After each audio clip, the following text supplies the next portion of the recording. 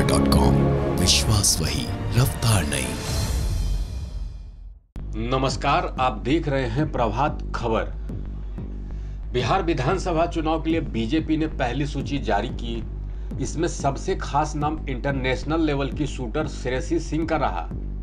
श्रेयसी को बिहार की जमुई सीट से चुनावी मैदान में उतारा गया है। उनकी जमुई, बांका समेत आसपास के इलाकों में अच्छी पकड़ है। उनकी आँखों में बिहार को आगे ले जाने का सपना है। बड़ा सवाल यह है कि क्या श्रेयसी चुनावी समर में सटीक निशाना लगा सकेंगी? Gold medal winner shooter Shreyasi Singh रविवार को बीजेपी में शामिल हुई थी।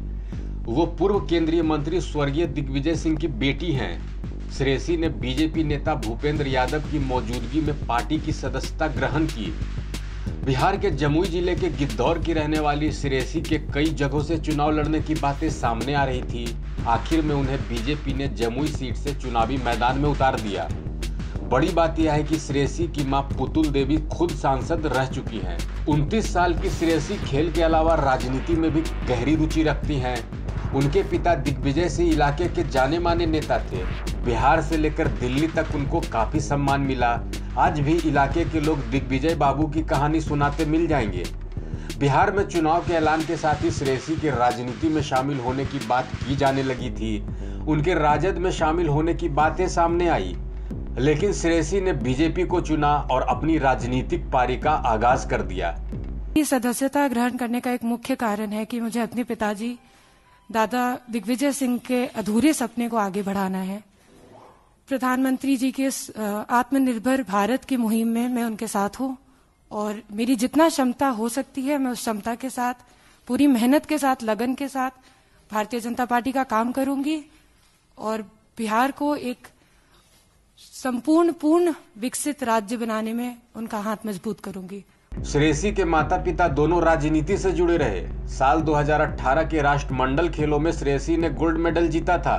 2014 के ग्लासगो राष्ट्रमंडल खेलों में निशानेबाजी की डबल ट्रैप स्पर्धा में श्रेयसी ने सिल्वर मेडल जीता।